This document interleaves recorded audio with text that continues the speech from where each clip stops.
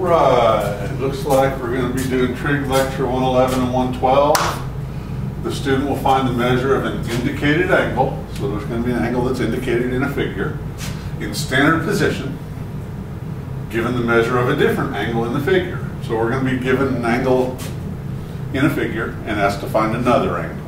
That's what we're doing. So let's take a look at this. Here's our figure. Here's the angle that's given to us. And we want to find this indicated angle. The student will find the measure of an indicated angle in standard position. That means that the initial side is the positive x-axis and the terminal side is wherever we stop rotating.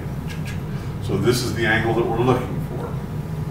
We want to find the measure of an indicated angle in standard position given the measure of a different angle in the figure. We're given this. So we want to find this. Okay? So that's what we're doing. Let's take a look at it. This one's pretty straightforward. I know that if my initial side is here and I'm rotating in a positive direction and I stop 60 degrees shy of a full circle, in a full circle there are 360 degrees, so I've rotated 300 degrees and that's my response.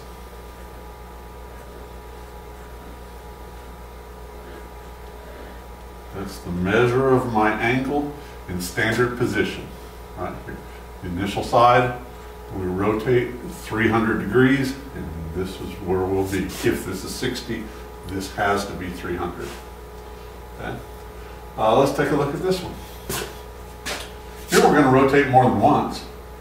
I'm going to stop 65 degrees shy.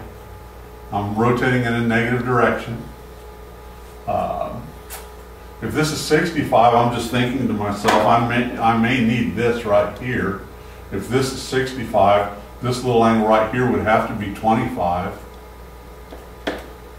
Because 65 plus 25 is 90.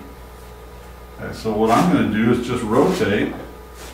I'm in a negative direction, and I'm going to just count as I go. Here's 360 degrees rotation. If I start here, and, and I rotate 360 degrees in a negative direction, there's negative 360, negative 450, I've rotated another 90, 540, 630, plus 25, 630 and 25 is 655, and I'm rotating in a negative direction. So the indicated angle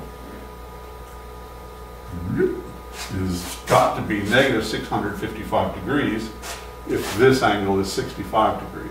And I just threw that in there because I realized, well, if that's 65, this has got to be 25 because this is a 90 degree angle. Okay, hopefully that makes sense.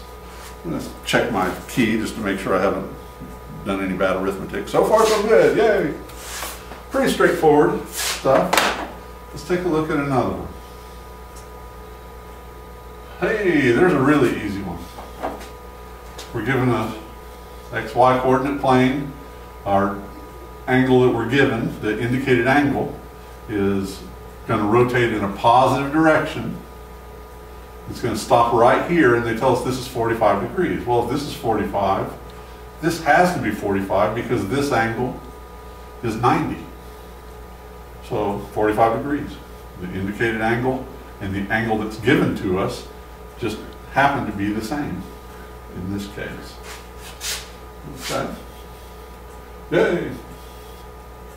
Alrighty, let's take a look at uh, this one here. We're rotating, it looks like we're rotating in a negative direction again. And if this is 20 degrees, I know that this angle from here to here has got to be 70. I'm going to throw that in there just in case I need it. And let's take a look at what we've got so far. I'm going to go to the left. I'm rotating. Here's my, remember the standard position. The positive x-axis is the initial side, and if we rotate clockwise, that's a, in a negative rotation. So we're going to go negative 360, negative 720, and then another 70 degrees. So 720, this would be negative 790 if I haven't done my arithmetic incorrectly. Pretty straightforward stuff. We're given an angle And this angle that's indicated is what we're looking for. Okay, so let's run through that again, make sure that we got our arithmetic right. And I'll check the key here in just a second, because Lord knows I make mistakes. Here we go. Here is negative 360, negative 720, plus another 70 would be negative 790. So yay, let's see if that's right. It is. And I believe that's just all of the examples I've got for what we're going to be doing. We're going to be finding the measure of an indicated angle. It'll be the one that's indicated in red.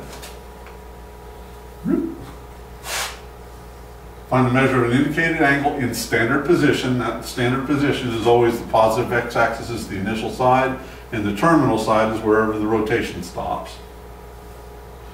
Okay, so we're going to find the measure of an indicated angle in standard position given the measure of a different angle in the figure. In every figure, you'll be given an angle measurement. It's not the one you're looking for, but it'll help you find the one you're looking for. Okay? Here's the one we were given, here's the one we were looking for. Here's the one we were given, here's the one we're looking for. Hopefully that makes sense. I know you can do this.